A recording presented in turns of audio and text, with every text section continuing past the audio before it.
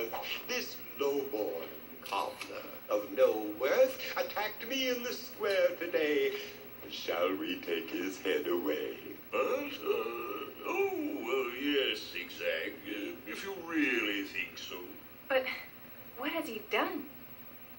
Attacked me? Oh, really? Yes.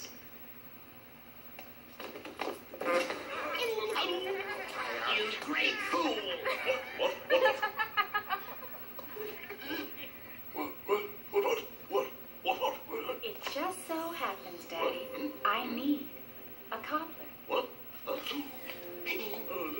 yes, of course. Uh, what? Of course. Oh, rose of the land, your slightest whim is my command. Uh, go with Princess